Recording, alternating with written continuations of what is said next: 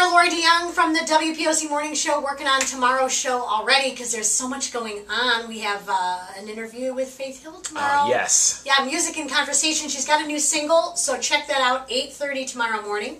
We'll be talking with Faith. Also, we have your Carrie Underwood tickets for Carrie and Hunter's show in November at the First Mariner Arena. So at 7:05, right, right around 7:03, 7:05 after the news, we'll have an opportunity for you to win two tickets, which is kind of fun.